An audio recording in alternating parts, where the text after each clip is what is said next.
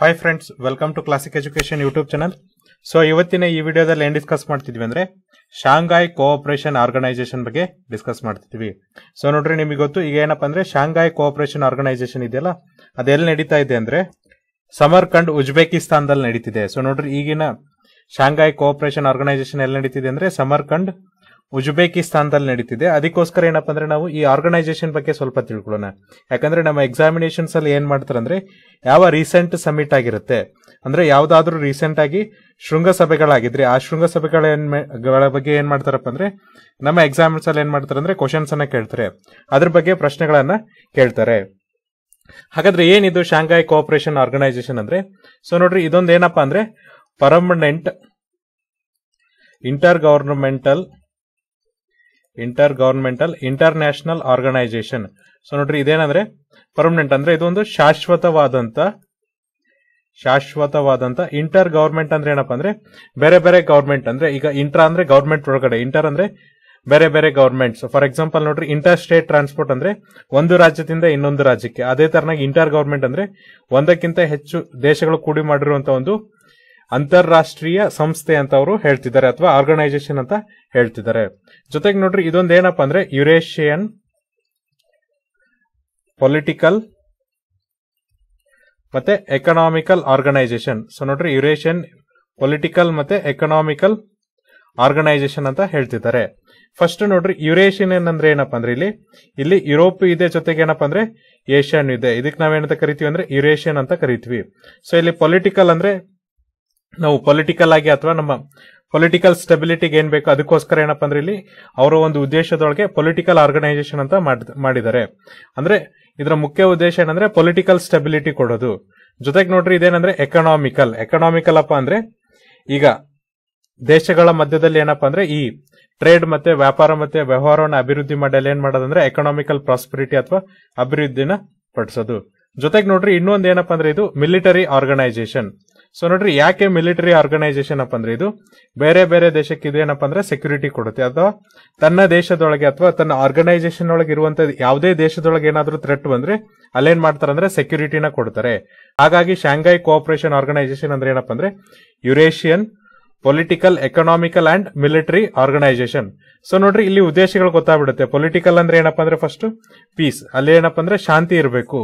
So economical ಅಂದ್ರೆ ಏನಾಗುತ್ತೆ ಅಂದ್ರೆ ಪ್ರಾಸ್ಪರಿಟಿ ಆಮೇಲೆ ಪೊಲಿಟಿಕಲ್ ಅಂದ್ರೆ ಸ್ಟೆಬಿಲಿಟಿ ಮಿಲಿಟರಿ ಬಂದ್ರೆ ಇಲ್ಲಿ ಏನಾಗತ್ತಪ್ಪ ಅಂದ್ರೆ ಸೆಕ್ಯೂರಿಟಿನ ಕೊಡಬೇಕು. ಈ ತರನಾಗಿ ಏನಪ್ಪ ಅಂದ್ರೆ ಶಾಂಘೈ ಕೋಆಪರೇಷನ್ ಆರ್ಗನೈಸೇಷನ್ ಸ್ಟಾರ್ಟ್ ಮಾಡಿದ್ದಾರೆ. ಹಾಗಾದ್ರೆ ನಾವು ಇದನ್ನ ಏನ್ ಮಾಡೋಣ ಅಂದ್ರೆ ವಿತ್ ಮ್ಯಾಪ್ ತಿಳ್ಕೊಳ್ಳೋಣ. ಸೊ ನೋಡ್ರಿ, ಯಾವುದೇ ಒಂದು ಆರ್ಗನೈಸೇಷನ್ ಆಗ್ಬೇಕಾದ್ರೆ ಅಲ್ಲಿ ಏನಾದ್ರು ಒಂದು ಸ್ಟ್ರಾಂಗ್ ರೀಸನ್ ಇರಬೇಕು. ಫಾರ್ ಎಕ್ಸಾಂಪಲ್ ನೋಡ್ರಿ ಶಾಂಘೈ ಕೋಆಪರೇಷನ್ ಆರ್ಗನೈಸೇಷನ್ ಇದೆಯಲ್ಲ?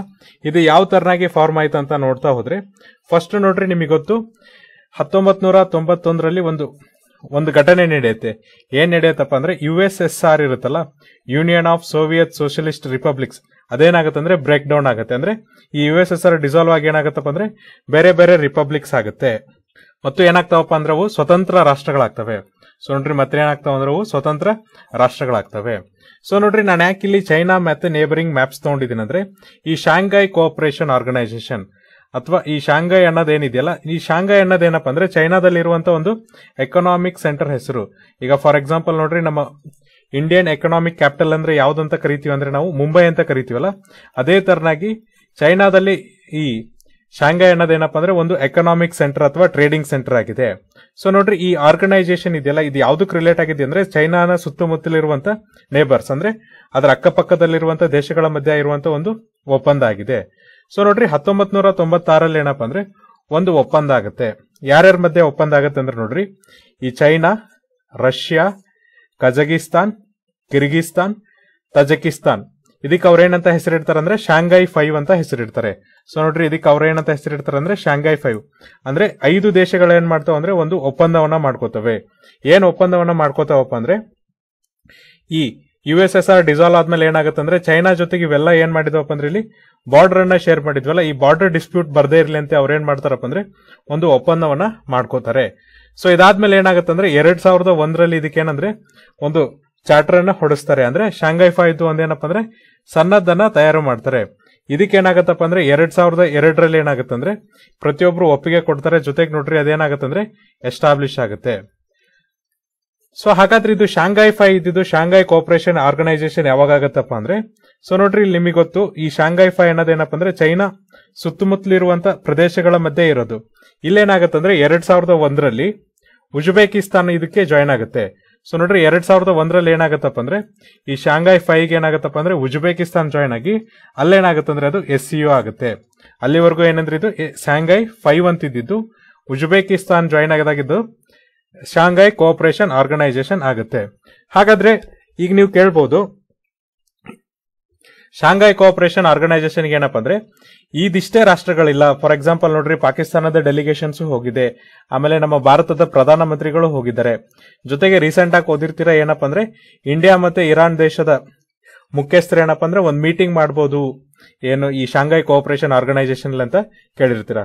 ಹಾಗಾದ್ರೆ ಯಾವಾಗೆಲ್ಲ ಈ ಪ್ರದೇಶಗಳು ಅಥವಾ ಈ ದೇಶಗಳು ಶಾಂಘೈ ಕೋಆಪರೇಷನ್ ಆರ್ಗನೈಸೇಷನ್ಗೆ ಜಾಯ್ನ್ ಆದ್ವು ಅಂದ್ರೆ ಸೊ ನೋಡ್ರಿ ಈ ಪ್ರದೇಶಗಳು ಯಾವಾಗ ಜಾಯ್ನ್ ಆದವಪ್ಪ? ಈ ದೇಶಗಳು ಯಾವಾಗ ಜಾಯ್ನ್ ಆದವು ಅಂದ್ರೆ ಎರಡ್ ಸಾವಿರದ ಹದಿನೇಳರಲ್ಲಿ ಇಂಡಿಯಾ ಮತ್ತೆ ಪಾಕಿಸ್ತಾನ ಏನ್ ಮಾಡ್ತಾವಪ್ಪ ಅಂದ್ರೆ ಶಾಂಘೈ ಕೋಆಪರೇಷನ್ ಆರ್ಗನೈಸೇಷನ್ ಜಾಯ್ನ್ ಆಗ್ತವೆ.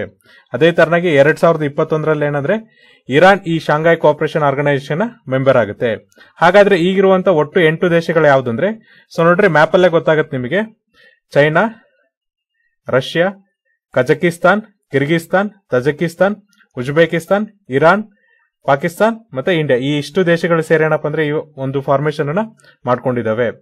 ಸೊ ಹಾಗಾಗಿ ಈಗ ಎಷ್ಟು ಮೆಂಬರ್ ಕಂಟ್ರೀಸ್ ಇದಾವಪ್ಪ ಅಂದ್ರೆ ಒಟ್ಟು ಒಂಬತ್ತು ದೇಶಗಳಿದಾವ ಅಂತ ನಾವು ಹೇಳ್ಬೋದು. ಜೊತೆಗೆ ನೋಡ್ರಿ, ನಿಮ್ಗಾಗ್ಲೇ ಹೇಳಿದೆ ಈ ಒಂದು ಆರ್ಗನೈಸೇಷನ್ ಯಾವ ತರ ಸ್ಟಾರ್ಟ್ ಆತಂದ್ರೆ ಇದು ಒಂದು ಬಾರ್ಡರ್ ಡಿಸ್ಪ್ಯೂಟ್ ಅನ್ನ ಸಾಲ್ವ್ ಮಾಡೋದಕ್ಕೋಸ್ಕರ ಸ್ಟಾರ್ಟ್ ಆದಂತ ಆರ್ಗನೈಸೇಷನ್ ಈಗೇನಪ್ಪ ಅಂದ್ರೆ ಬೆಳೀತಾ ಹೋಗಿದೆ. ಹಾಗಾದ್ರೆ ಈ ಆರ್ಗನೈಸೇಷನ್ನ ಮುಖ್ಯ ಉದ್ದೇಶ ಏನಿರ್ಬೋದು? ಯಾಕಂದ್ರೆ ಯಾವುದೇ ಒಂದು ಆರ್ಗನೈಸೇಷನ್ ಓಪನ್ ಆದ್ರೆ ಅದಕ್ಕೆ ಕೆಲವೊಂದಿಷ್ಟು ಉದ್ದೇಶಗಳಂತಿರುತ್ತಲ್ಲ, ಹಾಗಾದ್ರೆ ಈ ಆರ್ಗನೈಸೇಷನ್ನ ಉದ್ದೇಶಗಳು ಏನಂತ ನಾವು ನೋಡ್ತಾ ಹೋಗೋಣ. ಸೊ ನೋಡ್ರಿ, ಇಲ್ಲಿ ಉದ್ದೇಶಗಳನ್ನ ನೋಡ್ತಾ ಹೋಗೋಣ.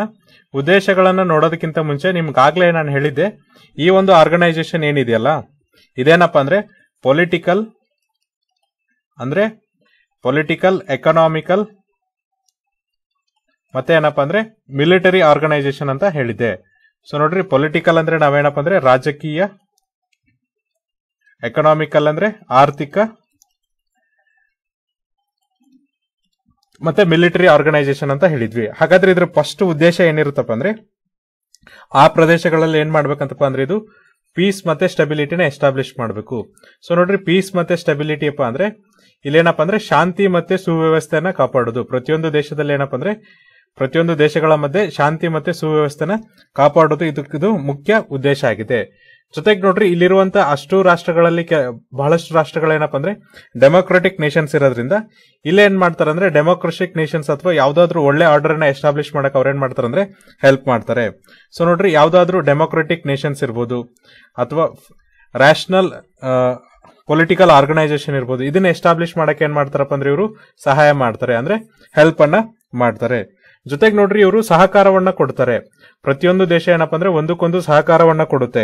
ಯಾವ್ದ್ರೊಳಗೆ ಸಹಕಾರವನ್ನ ಕೊಡುತ್ತಪ್ಪ ಅಂದ್ರೆ ಪೊಲಿಟಿಕಲ್ ಪೊಲಿಟಿಕ್ಸ್ ಅಂದ್ರೆ ರಾಜಕೀಯದಲ್ಲಿ ಸಹಕಾರವನ್ನ ಕೊಡುತ್ತೆ. ಜೊತೆಗೆ ನೋಡ್ರಿ, ಈ ವ್ಯಾಪಾರ ಮತ್ತೆ ವ್ಯವಹಾರ ಏನಿದೆಯಲ್ಲ ಅದರೊಳಗೆ ಏನಪ್ಪ ಅಂದ್ರೆ ಸಹಕಾರವನ್ನ ಕೊಡ್ತಾರೆ. ವ್ಯಾಪಾರ ಮತ್ತೆ ವ್ಯವಹಾರದಲ್ಲಿ ಏನಪ್ಪ ಅಂದ್ರೆ ಸಹಕಾರವನ್ನ ಕೊಡ್ತಾರೆ. ಇದಾದ್ಮೇಲೆ ನೋಡ್ರಿ ರಿಸರ್ಚ್ ಮತ್ತೆ ಟೆಕ್ನಾಲಜಿಯಲ್ಲಿ ಸಹಕಾರವನ್ನ ಕೊಡ್ತಾರೆ. ರಿಸರ್ಚ್ ಮತ್ತೆ ಟೆಕ್ನಾಲಜಿಯಲ್ಲಿ ಏನಪ್ಪ ಅಂದ್ರೆ ಸಹಕಾರವನ್ನ ಕೊಡ್ತಾರೆ. ಇದಾದ್ಮೇಲೆ ಏನಾದ್ರೂ ಕಲ್ಚರಲ್ ಇಂಟ್ರಾಕ್ಷನ್ಸ್ ಆಗ್ತಿದ್ರೆ ಅಥವಾ ಕಲ್ಚರಲ್ ಚೇಂಜಸ್ ಆಗ್ತಿದ್ರೆ ಅದರಲ್ಲೂ ಕೂಡ ಏನಪ್ಪ ಅಂದ್ರೆ ಸಹಕಾರವನ್ನ ಕೊಡ್ತಾರೆ. ಕಲ್ಚರಲ್ ಚೇಂಜಸ್ ಕೂಡ ಏನಪ್ಪ ಅಂದ್ರೆ ಇದು ಹೆಲ್ಪ್ ಮಾಡುತ್ತೆ. ಜೊತೆಗೆ ನೋಡ್ರಿ ಇವ್ರು ಯಾವುದಕ್ಕೆ ಜಾಸ್ತಿ ಕೋಆಪರೇಷನ್ ಕೊಡ್ತಿದ್ದಾರೆ ಅಥವಾ ತಮ್ಮ ಸಹಕಾರವನ್ನ ಎನ್ಹಾನ್ಸ್ ಮಾಡ್ತಿದ್ದಾರೆ ಅಂದ್ರೆ ಜಾಸ್ತಿ ಯಾವುದಕ್ಕೆ ಒತ್ತನ್ನ ಕೊಡ್ತಿದ್ದಾರೆ ಎನ್ಹಾನ್ಸ್ ಅಂದ್ರೆ ಏನಪ್ಪ ಅಂದ್ರೆ ಒತ್ತನ್ನ ಕೊಡೋದು. ಈಗ ಫಾರ್ ಎಕ್ಸಾಂಪಲ್ ನೋಡ್ರಿ ಏನಾದ್ರೂ ಒಂದು ತುರ್ತು ವಿಷಯ ಇದ್ರೆ ನಾವು ಅದಕ್ಕೆ ಏನ್ ಮಾಡ್ತೀವಿ ಅಂದ್ರೆ ಒತ್ತು ಕೊಡ್ತೀವಿ. ಅಥವಾ ಅದಕ್ಕೆ ಹೆಚ್ಚಿನ ಗಮನವನ್ನ ಹರಿಸ್ತೀವಿ ಅಂತೀವಲ್ಲ? ಸೊ ಇವರು ಯಾವ್ದ್ರಲ್ಲಿ ಜಾಸ್ತಿ ಕೋಆಪರೇಷನ್ಸ್ ಅಥವಾ ಎನ್ಹಾನ್ಸ್ಮೆಂಟ್ ಅನ್ನ ಮಾಡ್ತಿದ್ದಾರೆ ಅಂದ್ರೆ ಫಸ್ಟ್ ಶಿಕ್ಷಣ. ಎಜುಕೇಶನ್ಗೆ ಇವ್ರು ಏನಪ್ಪಾ ಅಂದ್ರೆ ಬಹಳಷ್ಟು ಒತ್ತನ್ನ ಕೊಡ್ತಿದ್ದಾರೆ. ಇದಾದ್ಮೇಲೆ ಎನರ್ಜಿಯಲ್ಲಿ ಇವರು ಸಹಕಾರ ಚೆನ್ನಾಗಿದೆ. ಸೊ ಎನರ್ಜಿ ಅಂದ್ರೆ ನಾವು ಶಕ್ತಿ ಅಂತ ಹೇಳ್ಬೋದು. ಇದಾದ್ಮೇಲೆ ನೋಡ್ರಿ ಟ್ರಾನ್ಸ್ಪೋರ್ಟೇಷನ್ ಅಂದ್ರೆ ಸಾರಿಗೆ ವ್ಯವಸ್ಥೆ. ಫಾರ್ ಎಕ್ಸಾಂಪಲ್ ನೋಡ್ರಿ, ಪ್ರತಿಯೊಂದು ಅಂತಾರಾಷ್ಟ್ರೀಯ ವ್ಯವಹಾರಗಳೇನಾಗುತ್ತಲ್ಲ ಅಲ್ಲಿ ಏನು ಮುಖ್ಯ trade and trade and commerce ಒಳಗೆ ಅಥವಾ ವ್ಯ- ವ್ಯವಹಾರ ಮತ್ತು ವ್ಯಾಪಾರದೊಳಗೆ ಏನು ಮುಖ್ಯವಾಗಿರುತ್ತಪ್ಪ ಅಂದ್ರೆ ಟ್ರಾನ್ಸ್ಪೋರ್ಟೇಷನ್ ಫಾರ್ ಎಕ್ಸಾಂಪಲ್ ನೋಡ್ರಿ, ಈಗ ನಮ್ಗೆ ಏನಪ್ಪ ಅಂದ್ರೆ ರಷ್ಯಾದಿಂದ ಅತಿ ಕಮ್ಮಿ ರೇಟಿಗೆ ಏನಪ್ಪ ಅಂದ್ರೆ ಕ್ರೂಡ್ ಆಯಿಲ್ ಸಿಗ್ತಿದೆ. ಸೊ ಕ್ರೂಡ್ ಆಯಿಲ್ ಏನ್ ಸಿಗ್ತಾ ಇದೆಯಲ್ಲ ಇದೇನಪ್ಪ ಅಂದ್ರೆ ಅತಿ ಕಮ್ಮಿ ರೇಟಿಗಿದೆ ಬಟ್ ಇದ್ರ ಟ್ರಾನ್ಸ್ಪೋರ್ಟೇಷನ್ ಚಾರ್ಜ್ ಅನ್ನ ನಾವು ಕನ್ಸಿಡರ್ ಮಾಡ್ಬೇಕಲ್ಲ. ಯಾಕಂದ್ರೆ ಅಲ್ಲಿಂದ ಸಾರಿಗೆ ತಂದಾಗ ಮಾತ್ರ ನಮ್ಗೆ ಏನಪ್ಪ ಅಂದ್ರೆ ಇದು ಒಂದು ಒಳ್ಳೆ ರೀಸನೇಬಲ್ ಪ್ರೈಸಿಗೆ ಸಿಗುತ್ತೆ. ಸೊ ಈ ಟ್ರಾನ್ಸ್ಪೋರ್ಟೇಷನ್ ಅನ್ನು ನಾವು ಕನ್ಸಿಡರ್ ಮಾಡಿದಾಗ ಏನಾಗುತ್ತೆ ಅಂದ್ರೆ ನಮ್ಗೆ ಇದು ಕಾಸ್ಟ್ಲಿ ಅನ್ಸುತ್ತೆ. ಹಾಗಾಗಿ ಏನಪ್ಪ ಅಂದ್ರೆ ಇಲ್ಲಿ ಸಾರಿಗೆದೊಳಗೂ ಹೆಚ್ಚಿನ ಸಹಕಾರವನ್ನ ಕೊಡ್ತಾ ಇದ್ದಾರೆ. ಜೊತೆಗೆ ನೋಡ್ರಿ ಟೂರಿಸಂ. ಟೂರಿಸಂ ಅಂದ್ರೆ ಪ್ರವಾಸೋದ್ಯಮ ಏನಿದೆಯಲ್ಲ, ಈ ಪ್ರವಾಸೋದ್ಯಮ ಕೂಡ ಏನಪ್ಪಾ ಅಂದ್ರೆ ಹೆಚ್ಚಿನ ಒತ್ತನ್ನ ಕೊಡ್ತಿದ್ದಾರೆ. ಜೊತೆಗೆ ನೋಡ್ರಿ ಇನ್ನೊಂದು ಏನಪ್ಪಾ ಅಂದ್ರೆ ಎನ್ವಿರಾನ್ಮೆಂಟಲ್ ಅಂದ್ರೆ ಈಗ ನಿಮಗೆ ಗೊತ್ತು, ಜಾಗತಿಕ ತಾಪಮಾನ ಅಥವಾ ಹವಾಮಾನ ಬದಲಾವಣೆಯಿಂದ ಏನೇನು ಅನಾಹುತಗಳಾಗ್ತಿದೆಯಲ್ಲ, ಅದನ್ನ ತಡೆಯೋದಕ್ಕೋಸ್ಕರ ಏನಪ್ಪಾ ಅಂದ್ರೆ ಇವರು ಸಪೋರ್ಟ್ ಅನ್ನ ಮಾಡ್ತಿದ್ದಾರೆ. ಸೊ ಹಾಗಾದ್ರೆ ಇದ್ರ ಉದ್ದೇಶಗಳೇನಪ್ಪ ಅಂದ್ರೆ ಒಂದು ಏನಂದ್ರೆ ಎಲ್ಲಾ ಪ್ರದೇಶಗಳಲ್ಲಿ ಏನಪ್ಪಾ ಅಂದ್ರೆ ಪೀಸ್ ಅಂಡ್ ಸ್ಟೆಬಿಲಿಟಿ ಇರಬೇಕು. ಜೊತೆಗೆ ನೋಡ್ರಿ ಯಾವ್ದಾದ್ರೂ ಡೆಮೋಕ್ರೆಟಿಕ್ ಅಥವಾ ರ್ಯಾಷನಲ್ ಆರ್ಗನೈಸೇಷನ್ ಅಥವಾ ಪೊಲಿಟಿಕಲ್ ಆರ್ಗನೈಸೇಷನ್ ಇದ್ರೆ ಅದನ್ನ ಎಸ್ಟಾಬ್ಲಿಷ್ ಮಾಡಕ್ ಸಹಾಯ ಮಾಡುತ್ತೆ. ಜೊತೆಗೆ ಏನಪ್ಪ ಅಂದ್ರೆ ಸಹಕಾರವನ್ನ ಕೊಡೋದು. ಯಾವ್ದ್ರೊಳಗೆ ಸಹಕಾರವನ್ನ ಕೊಡೋದಪ್ಪ ಅಂದ್ರೆ ಪೊಲಿಟಿಕಲ್ಸ್ ಟ್ರೇಡ್ ರಿಸರ್ಚ್ ಮತ್ತೆ ಎಕನಾಮಿಯಲ್ಲಿ ಸಹಕಾರವನ್ನ ಕೊಡೋದು. ಜೊತೆಗೆ ನೋಡ್ರಿ ಎಜುಕೇಶನ್ಸ್ ಮತ್ತೆ ಎನರ್ಜಿ ಸಾರಿಗೆ, ಪ್ರವಾಸೋದ್ಯಮ ಮತ್ತೆ ಇನ್ನೊಂದು ಏನಪ್ಪಾ ಅಂದ್ರೆ ಈ ಎನ್ವಿರಾನ್ಮೆಂಟಲ್ ಏನಪ್ಪಾ ಅಂದ್ರೆ ಪರಸ್ಪರ ಸಹಕಾರವನ್ನ ಜಾಸ್ತಿ ಮಾಡೋದು. ಹಾಗಾದ್ರೆ ಇದು ಯಾವ ತರನಾಗಿ ಕೆಲಸ ಮಾಡುತ್ತೆ? ಯಾಕಂದ್ರೆ ಪ್ರತಿಯೊಂದು ಆರ್ಗನೈಸೇಷನ್ ಇದ್ರೂ ಕೂಡ ಏನಪ್ಪಾ ಅಂದ್ರೆ ಅಲ್ಲೊಂದು ಸ್ಟ್ರಕ್ಚರ್ ಅಂತ ಇರುತ್ತೆ. ಹಾಗಾದ್ರೆ ಈ ಸ್ಟ್ರಕ್ಚರ್ ಯಾವ ತರನಾಗಿ ಕೆಲಸ ಮಾಡತ್ತಂದ್ರೆ ಸೊ ನೋಡ್ರಿ ಇಲ್ಲೇನಪ್ಪ ಅಂದ್ರೆ ಈ ತರನಾಗಿ ಈ ಸ್ಟ್ರಕ್ಚರ್ ಅನ್ನ ಮಾಡಿದ್ದಾರೆ. ಫಸ್ಟ್ ಇದು ಕೆಲಸ ಮಾಡೋದೇನಪ್ಪ ಅಂದ್ರೆ ಫಸ್ಟ್ ಲೆವೆಲ್ ಅಲ್ಲಿ head of the state council ಅಂತ. ಸೊ ಇಲ್ಲೆಲ್ಲ ಪಾರ್ಟಿಸಿಪೇಟ್ ಮಾಡೋರು ಯಾರಪ್ಪ ಅಂದ್ರೆ ಪ್ರೈಮ್ ಮಿನಿಸ್ಟರ್ ಇರ್ಬೋದು, ಅಥವಾ ಪ್ರೆಸಿಡೆಂಟ್ಸ್ ಇರ್ಬೋದು. ಇವ್ರು ಏನ್ ಮಾಡ್ತಾರೆ ಅಂದ್ರೆ ಪಾರ್ಟಿಸಿಪೇಷನ್ ಅನ್ನ ಮಾಡ್ತಾರೆ. ಸೊ ಇದೇನಪ್ಪ ಅಂದ್ರೆ ಹೈಯೆಸ್ಟ್ ಅಥಾರಿಟಿ ಸೊ ಇವರ ಮುಖ್ಯ ಉದ್ದೇಶ ಅಥವಾ ಇವರ ಮುಖ್ಯ ಕೆಲಸ ಏನಪ್ಪ ಅಂದ್ರೆ, ಈ ಇಂಟರ್ನಲ್ ಫಂಕ್ಷನ್ಸ್ ಅಂದ್ರೆ ಆ ಸಂಸ್ಥೆಯೊಳಗೆ ಏನೇನು ಇಂಟರ್ನಲ್ ಫಂಕ್ಷನ್ಸ್ ಆಗುತ್ತಲ್ಲ, ಅದ್ರ ಬಗ್ಗೆ ಹೆಚ್ಚಿಗೆ ಗಮನವನ್ನ ಹರಿಸ್ತಾರೆ. ಜೊತೆಗೆ ನೋಡ್ರಿ, ಈ ಅಂತಾರಾಷ್ಟ್ರೀಯ ಸಂಸ್ಥೆಗಳು ಅಥವಾ ಬೇರೆ ಬೇರೆ ಆರ್ಗನೈಸೇಷನ್ ಜೊತೆಗೆ ಏನಪ್ಪ ಅಂದ್ರೆ ಇಂಟ್ರಾಕ್ಷನ್ಸ್ನ ಮಾಡ್ತಾರೆ. ಅಂದ್ರೆ ಪರಸ್ಪರ ಮಾತುಕತೆಯನ್ನ ನಡೆಸ್ತಾರೆ. ಇದಾದ್ಮೇಲೆ ಬರುವಂತ ನೆಕ್ಸ್ಟ್ ಕೌನ್ಸಿಲ್ ಯಾವ್ದಪ್ಪ ಅಂದ್ರೆ ಹೆಡ್ ಆಫ್ ಗವರ್ಮೆಂಟ್ ಕೌನ್ಸಿಲ್ ಅಂತ. ಸೊ ನೋಡ್ರಿ ಹೆಡ್ ಆಫ್ ಗವರ್ಮೆಂಟ್ ಕೌನ್ಸಿಲ್ ಇವರ ಮುಖ್ಯ ಉದ್ದೇಶ ಏನಪ್ಪ ಅಂದ್ರೆ ಸೊ ಇವ್ರು ಏನ್ ಮಾಡ್ತಾರೆ ಅಂದ್ರೆ ನೋಡ್ರಿ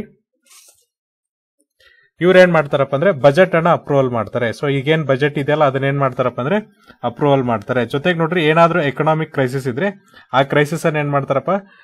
ಸಾಲ್ವ್ ಮಾಡ್ತಾರೆ. ಜೊತೆಗೆ ನೋಡ್ರಿ ಎಕನಾಮಿಕಲ್ ರಿಲೇಟೆಡ್ ಆಕ್ಟಿವಿಟೀಸ್ ಅಂದ್ರೆ ಆರ್ಥಿಕತೆಗೆ ಬೇಕಾದಂತ ಯಾವುದೇ ಒಂದು ವಿಷಯಗಳಿರ್ಲಿ, ಅದರ ಸಂಬಂಧಪಟ್ಟಂತ ಏನಾದ್ರೂ ವಿಷಯಗಳಿರ್ಲಿ ಅಥವಾ ಸಂಬಂಧಪಟ್ಟ ಸಭೆಗಳಿದ್ರು ಕೂಡ ಅದನ್ನ ಯಾರು ನೋಡ್ಕೋತಾರೆ ಅಂದ್ರೆ ಹೆಡ್ ಆಫ್ ಗವರ್ಮೆಂಟ್ ಕೌನ್ಸಿಲ್ ಅವರು ನೋಡ್ತಾರೆ. ಹಾಗಾದ್ರೆ ಕೌನ್ಸಿಲ್ ಆಫ್ ಫಾರಿನ್ ಅಫೇರ್ಸ್ ಅವ್ರು ಏನ್ ನೋಡ್ಕೋತಾರಪ್ಪ ಅಂದ್ರೆ ಸೊ ನೋಡ್ರಿ ಇವ್ರೇನ್ ಮಾಡ್ತಾರೆ ಅಂದ್ರೆ ಡೇ ಟು ಡೇ ಆಕ್ಟಿವಿಟೀಸ್ ನೋಡ್ತಾರೆ. ಸೊ ಇವ್ರೇನ್ ಮಾಡ್ತಾರೆ ಅಂದ್ರೆ ಡೇ ಟು ಡೇ ಆಕ್ಟಿವಿಟೀಸ್ ನೋಡ್ತಾರೆ. ಅಂದ್ರೆ ಪ್ರತಿದಿನ ಏನೇನು ಆಕ್ಟಿವಿಟೀಸ್ ಆಗತ್ತಲ್ಲ, ಇದನ್ನ ಇವರು ಕನ್ಸಿಡರ್ ಮಾಡ್ತಾರೆ. ಸೊ ನೋಡ್ರಿ, ಇದ್ರೊಳಗೆ ಇನ್ನೊಂದು ಮುಖ್ಯವಾಗಿರೋದು ಯಾವ್ದಪ್ಪ ಅಂದ್ರೆ ರೀಜನಲ್ ಆಂಟಿ ಟೆರರಿಸ್ಟ್ ಸ್ಟ್ರಕ್ಚರ್ ಅಂತ. ಸೊ ನೋಡ್ರಿ ರೀಜನಲ್ ಆಂಟಿ ಟೆರರಿಸ್ಟ್ ಸ್ಟ್ರಕ್ಚರ್ ಮುಖ್ಯ ಉದ್ದೇಶ ಏನಪ್ಪ ಅಂದ್ರೆ ಈ ಟೆರರಿಸಂ ಇದೆಯಲ್ಲ, ಇದನ್ನ ಕಾಂಬ್ಯಾಕ್ಟ್ ಮಾಡೋದು. ಅಂದ್ರೆ ನಿಲ್ಲಿಸೋದು ಅಥವಾ ಸಂಪೂರ್ಣವಾಗಿ ತೆಗೆದು ಹಾಕೋದು ಅದಕ್ಕೆ ನಾವೇನಂತ ಹೇಳ್ತೀವಿ ಅಂದ್ರೆ ಕಾಂಬ್ಯಾಕ್ಟ್ ಅಂತ ಹೇಳ್ತೀವಿ. ಈಗ ನಾವೇನ್ ಮಾಡ್ತೀವಪ್ಪ ಅಂದ್ರೆ ಟೆರಿಸ್ಟ್ ವಿರುದ್ಧ ಹೋರಾಡ್ತೀವಿ ಅಂದ್ರೆ ಭಯೋತ್ಪಾದನೆ ವಿರುದ್ಧ ಹೋರಾಡ್ತೀವಲ್ಲ, ಅದನ್ನ ಕಮ್ಮಿ ಮಾಡೋದಕ್ಕೋಸ್ಕರ ಅದಕ್ಕೆ ನಾವೇನಂತ ಕರಿತೀವಿ ಅಂದ್ರೆ ಕಾಂಬ್ಯಾಕ್ಟ್ ಅಂತ ಕರಿತೀವಿ. ಇದಾದ್ಮೇಲೆ ನೋಡ್ರಿ, ಯಾರಾದ್ರೂ ಸಪರೇಟಿಸಮ್ನ ಮಾಡ್ತಿದ್ರೆ ಫಾರ್ ಎಕ್ಸಾಂಪಲ್ ನೋಡ್ರಿ, ಯಾವ ತರ ಸಪರೇಟಿಸಮ್ ಅಂದ್ರೆ, ಈಗ ನಮ್ಮ ದೇಶದಲ್ಲಿ ಕೆಲವೊಂದಿಷ್ಟು ಆರ್ಗನೈಸೇಷನ್ಸ್ ಮತ್ತೆ ಪೊಲಿಟಿಕಲ್ ಪಾರ್ಟೀಸ್ ಇರ್ಬೋದು, ಬೇರೆ ಬೇರೆ ಸಂಸ್ಥೆಗಳು ಏನ್ ಮಾಡ್ತಿರ್ತವೆ? ಸಂಸ್ಥೆಗಳಕ್ಕಿಂತ ಆರ್ಗನೈಸೇಷನ್ ಅವ್ರು ಏನ್ ಮಾಡ್ತಿರ್ತಾರೆ ಅಂದ್ರೆ ಸಪರೇಟಿಸಮ್ ಬಯಸ್ತಿರ್ತಾರೆ. ಫಾರ್ ಎಕ್ಸಾಂಪಲ್ ನೋಡ್ರಿ, ಈಗ ರೀಸೆಂಟ್ ಆಗಿ ಚಾಲ್ತಿಯಲ್ಲಿರೋದು ಯಾವ್ದಪ್ಪ ಅಂದ್ರೆ, ನಾಗಾಲ್ಯಾಂಡ್ ಇಶ್ಯೂ ಸೊ ನಾಗಾಲ್ಯಾಂಡ್ ಏನ್ ಮಾಡ್ತಿದೆ ಅಂದ್ರೆ, ನಮಗೆ ಪ್ರತ್ಯೇಕ ನಾಗಾಲ್ಯಾಂಡ್ ಬೇಕು. ಅದಕ್ಕೆ ನೀವು ನಮಗೆ ಅವಕಾಶ ಮಾಡಿಕೊಡ್ರಿ ಅಂತ ಏನು, ಪ್ರತ್ಯೇಕ ನಾಗಾಲ್ಯಾಂಡಿನ ಕೂಗಿತ್ತಲ್ಲ, ಈಗ ಅದೇನಾಗ್ತಿದೆ ಅಂದ್ರೆ ಕಮ್ಮಿ ಆಗ್ತಿದೆ. ಈ ತರದ ಸಪರೇಟಿಸಮ್ಸ್ಗೆ ಅವ್ರು ಏನಪ್ಪ ಅಂದ್ರೆ ಅವಕಾಶ ಕೊಡೋದಿಲ್ಲ. ಅದನ್ನು ಕೂಡ ಏನಪ್ಪ ಅಂದ್ರೆ ಕಮ್ಮಿ ಮಾಡ್ತಾರೆ. ಇದಾದ್ಮೇಲೆ ನೆಕ್ಸ್ಟ್ ಏನ್ ಮಾಡ್ತಾರೆ ಅಂದ್ರೆ ಎಕ್ಸ್ಟ್ರೀಮಿಸಮ್ ಸೊ ನೋಡ್ರಿ ಎಕ್ಸ್ಟ್ರೀಮಿಸಮ್ ಅಂದ್ರೆ ಯಾವ ತರನಾಗಿರುತ್ತಪ್ಪ ಅಂದ್ರೆ ಫಾರ್ ಎಕ್ಸಾಂಪಲ್ ಈಗ ಒಂದು ಸಂಸ್ಥೆ ಪರವಾಗಿ ಅಥವಾ ಒಂದು ಧರ್ಮದ ಪರವಾಗಿ ಅಥವಾ ಒಂದು ಪೊಲಿಟಿಕಲ್ ಆರ್ಗನೈಸೇಷನ್ ಪರವಾಗಿ, ಒಂದು ಪೊಲಿಟಿಕಲ್ ಆರ್ಗನೈಸೇಷನ್ ಪರವಾಗಿ ಅಥವಾ ಏನಪ್ಪ ಅಂದ್ರೆ ಒಂದು ಕಾಸ್ಟಿನ ಪರವಾಗಿ ತುಂಬಾ ಹೋರಾಟನ ಮಾಡ್ತಾರೆ. ಅಂತದಕ್ಕೆ ಏನಪ್ಪಾ ಅಂದ್ರೆ ಎಕ್ಸ್ಟ್ರೀಮಿಸಂ ಅಂತ ಕರೀತಾರೆ.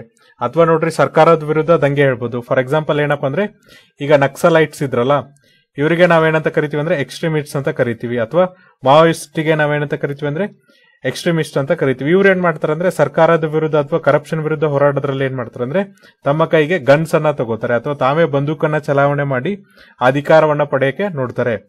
ಈ ತರದ ಆಕ್ಟಿವಿಟೀಸ್ ಅನ್ನು ನಿಲ್ಸೋದಕ್ಕೋಸ್ಕರ ಏನಪ್ಪ ಅಂದ್ರೆ ಇದು ಕೆಲಸ ಮಾಡುತ್ತೆ. ಯಾವ್ದಂದ್ರೆ ರೀಜನಲ್ ಆಂಟಿ ಟೆರರಿಸ್ಟ್ ಸ್ಟ್ರಕ್ಚರ್ ಅಂತ. ಇದಾದ್ಮೇಲೆ ನೋಡ್ರಿ ನೆಕ್ಸ್ಟ್ ಬರೋ organisation ಯಾವ್ದಂದ್ರೆ S C O secretariat secretariat ನಾವೇನ್ ಅನ್ಬೋದು ಅಂದ್ರೆ, ಕಾರ್ಯದರ್ಶಿ ಸಂಸ್ಥೆ. ಸೊ ನೋಡ್ರಿ ಎಸ್ ಸಿ ಕಾರ್ಯದರ್ಶಿ ಇರೋದೆಲ್ಲಪ್ಪ ಅಂದ್ರೆ ಅಲ್ಲಿ ಇದೆ ಇದಿರೋದೆಲ್ಲಪ್ಪ ಅಂದ್ರೆ ಬಿಜಿಂಗ್ ಅಲ್ಲಿ ಇದೆ ಅಂತ ಹೇಳ್ತಿದ್ದಾರೆ. ಇದೇನಪ್ಪ ಅಂದ್ರೆ ಈ ಶಾಂಘೈ ಕೋಆಪರೇಷನ್ ಆರ್ಗನೈಸೇಷನ್ ಏನೇನು ಆಕ್ಟಿವಿಟೀಸ್ ಆಗುತ್ತಲ್ಲ, ಅದನ್ನ ಅವರು ನೋಡ್ಕೋತಾರೆ. ಹಾಗಾದ್ರೆ ಇವರು ಅಫಿಷಿಯಲ್ ಲ್ಯಾಂಗ್ವೇಜ್ ಯಾವುದು? ನಿಮ್ಮ ಎಕ್ಸಾಮಿನೇಷನ್ ಅಲ್ಲಿ ಕೇಳ್ಬೋದು. ಸೊ ನೋಡ್ರಿ, ಇವರ ಅಫಿಷಿಯಲ್ ಲ್ಯಾಂಗ್ವೇಜ್ ಯಾವ್ದಪ್ಪ ಅಂದ್ರೆ ಚೈನೀಸ್ ಮತ್ತೆ ಚೈನೀಸ್ ಮತ್ತೆ ಯಾವ್ದಪ್ಪ ಅಂದ್ರೆ ರಷ್ಯನ್ ಇವ್ರದ್ದು ಏನಪ್ಪ ಅಂದ್ರೆ ಅಫಿಷಿಯಲ್ ಲ್ಯಾಂಗ್ವೇಜ್ ಸೊ ನೋಡ್ರಿ, ಇವ್ರ ಅಫಿಷಿಯಲ್ ಲ್ಯಾಂಗ್ವೇಜ್ ಯಾವ್ದಂದ್ರೆ ಚೈನೀಸ್ ಮತ್ತೆ ರಷ್ಯನ್ ಲ್ಯಾಂಗ್ವೇಜಸ್ ಸೊ ನಿಮಗೆ ಎಕ್ಸಾಮಿನೇಷನ್ ಅಲ್ಲಿ ಕೇಳ್ಬೋದು. ಏನು ಶಾಂಘೈ ಕೋಆಪರೇಷನ್ ಆರ್ಗನೈಸೇಷನ್ ಇದೆಯಲ್ಲ, ಅಲ್ಲಿ ಅವರ ಅಫಿಷಿಯಲ್ ಲ್ಯಾಂಗ್ವೇಜ್ ಯಾವ್ದಂದ್ರೆ ಚೈನೀಸ್ ಮತ್ತೆ ರಷ್ಯನ್ ಸೊ ನೋಡ್ರಿ, ಮುಂದಿನ ವರ್ಷ ನಮಗೆ ಏನಪ್ಪಾ ಅಂದ್ರೆ ಈ S I S C Shanghai cooperation organisation ಅಧ್ಯಕ್ಷತೆ ವಹಿಸುವಂತ ಅವಕಾಶ ಇರುತ್ತೆ. ಸೊ ನೋಡ್ರಿ, ಎರಡ್ ಸಾವಿರದ ಇಪ್ಪತ್ತ್ ಮೂರು ಇದೆಯಲ್ಲ, ಇದೇನಪ್ಪ ಅಂದ್ರೆ ಭಾರತಕ್ಕೆ ಒಂದು ಸುವರ್ಣ ಅವಕಾಶ ಅಂತ ಹೇಳ್ಬೋದು. ಯಾವ ತರ ಸುವರ್ಣ ಅವಕಾಶ ಅಪ್ಪ ಅಂದ್ರೆ, ನಾವ್ ಎರಡು ಸಮಿಟ್ ಅನ್ನ ಹೋಸ್ಟ್ ಮಾಡ್ತಾ ಇದೀವಿ ಯಾವ್ದಪ್ಪ ಅಂದ್ರೆ, ಒಂದು ಎಸ್ ಸಿಒ ಸಮಿಟ್ ಅಂದ್ರೆ ಶಾಂಘೈ ಕೋಆಪರೇಷನ್ ಆರ್ಗನೈಸೇಷನ್ ಹೋಲ್ಡ್ ಮಾಡ್ತಿದ್ರೆ, ಇನ್ನೊಂದು ಯಾವ್ದಪ್ಪ ಅಂದ್ರೆ ಜಿ ಟ್ವೆಂಟಿ ಕಂಟ್ರಿದು ಅಧ್ಯಕ್ಷತೆನ ವಹಿಸ್ತಿದ್ವಿ ಸೊ ನೋಡ್ರಿ ಎಸ್ ಸಿಒ ಅಥವಾ ಶಾಂಘೈ ಕೋಆಪರೇಷನ್ ಆರ್ಗನೈಸೇಷನ್ ಅಲ್ಲಿ ಏನಪ್ಪ ಅಂದ್ರೆ ರಷ್ಯಾ ಮತ್ತೆ ಚೈನಾ ಇದ್ರೆ, ಇನ್ನೊಂದ್ ಕಡೆ ಏನಪ್ಪ ಅಂದ್ರೆ ಜಿ ಟ್ವೆಂಟಿಯಲ್ಲಿ ಯಾರಿದ್ದಾರೆ ಅಂದ್ರೆ ಜಿ ಸೆವೆನ್ ಕಂಟ್ರೀಸ್ ಮತ್ತೆ ಏನಪ್ಪ ಅಂದ್ರೆ ಯುರೋಪಿಯನ್ ಕಂಟ್ರೀಸ್ ಇರುತ್ತೆ. ಸೊ ಇಲ್ಲೇನಾಗತ್ತಂದ್ರೆ ಇವರು ಒಂದ್ ಕಡೆ ದಿಕ್ಕಲ್ಲಿ ಇದ್ರೆ ಇವ್ರು ಇನ್ನೊಂದ್ ಕಡೆಯಲ್ಲಿ ಇದ್ದಾರೆ ಈಗ ಏನು ವರ್ಲ್ಡ್ ಬೈ ಪೋಲರ್ ಆಗಿದೆಯಲ್ಲ, ಅಂದ್ರೆ ಎರಡ್ ಕಡೆ ಒಡೆದೋಗಿದೆಯಲ್ಲ, ಅಲ್ಲಿ ಒಂದ್ ಕಡೆ ಏನಪ್ಪ ಅಂದ್ರೆ ಚೈನಾ ಮತ್ತೆ ರಷ್ಯಾ ಸ್ಟ್ಯಾಂಡ್ ಆದ್ರೆ, ಇನ್ನೊಂದ್ ಕಡೆ ಏನಪ್ಪ ಅಂದ್ರೆ ಜಿ ಸೆವೆನ್ ಅಥವಾ ಅಮೆರಿಕ ಮತ್ತೆ ಯುರೋಪಿಯನ್ ಕಂಟ್ರೀಸ್ಗಳು ನಿರುತ್ತೆ ಹಾಗಾಗಿ ಎರಡ್ ಸಾವಿರದ ಇಪ್ಪತ್ತ್ ಮೂರಲ್ಲಿ ಏನಪ್ಪ ಅಂದ್ರೆ ಭಾರತ ಯಾವ ತರನಾಗಿ ಹತ್ತೊಂಬತ್ ನೂರ ಈ ನಲವತ್ತೆಂಟು ಮತ್ತೆ ಐವತ್ತರ ಟೈಮಲ್ಲಿ ತೋರಿಸಿತ್ತಲ್ಲ ನಾನ್ ಅಲೈನ್ ಮೂವ್ಮೆಂಟ್ ಪ್ರಕಾರ, ಆ ತರನಾಗಿ ಯಾವ ತರನಾಗಿ ಇಲ್ಲಿ ಸ್ಟ್ರಾಂಗ್ ಲೀಡರ್ಶಿಪ್ ಅನ್ನ ತೋರಿಸುತ್ತೆ ಅಂತ ನಾವು ನೋಡ್ಬೇಕು. ಹಾಗಾಗಿ ನೋಡ್ರಿ, ಭಾರತಕ್ಕೆ ಏನು ಎರಡ್ ಸಾವಿರದ ಇಪ್ಪತ್ತ್ ಮೂರು ಇದೆಯಲ್ಲ, ಇದು ತುಂಬಾ ಸುವರ್ಣ ಅವಕಾಶ. ಯಾಕಂದ್ರೆ ಎರಡು ಎಕ್ಸ್ಟ್ರೀಮ್ ಎಂಡ್ ಅನ್ನ ಸಮಿಟ್ ಅನ್ನ ಹೋಲ್ಡ್ ಮಾಡಿ ಇಬ್ಬರಿಗೂ ಕನ್ವಿನ್ಸ್ ಮಾಡೋದಿದೆಯಲ್ಲ ಇದು ತುಂಬಾ ಕಷ್ಟದ ಸಂಗತಿ. ಹಾಗಾಗಿ ಎರಡ್ ಸಾವಿರದ ಇಪ್ಪತ್ತ್ ಮೂರು ಏನಪ್ಪ ಅಂದ್ರೆ ನಮಗೆ ಸುವರ್ಣ ಅವಕಾಶ ಅಂತ ನಾವು ಹೇಳ್ಬೋದು. ಸೊ ನೋಡ್ರಿ ಫ್ರೆಂಡ್ ಇದು ಏನಪ್ಪ ಅಂದ್ರೆ ಶಾಂಘೈ ಕೋಆಪರೇಷನ್ ಆರ್ಗನೈಸೇಷನ್ ಬಗ್ಗೆ ಇರುವಂತ ಮಾಹಿತಿ. ಇದೇ ತರನ ಅಂತ ಹೆಚ್ಚೆಚ್ಚು ಮಾಹಿತಿಗಳನ್ನ ನಿಮಗೆ ನಾವು ಕ್ಲಾಸಿಕ್ ಎಜುಕೇಶನ್ ಟೀಮ್ ಕಡೆಯಿಂದ ಕೊಡ್ತೀವಿ. ಸೊ ಹಾಗಾಗಿ ನಿರಂತರವಾಗಿ ನೋಡ್ತಾ ಇರಿ classic education YouTube channel thank you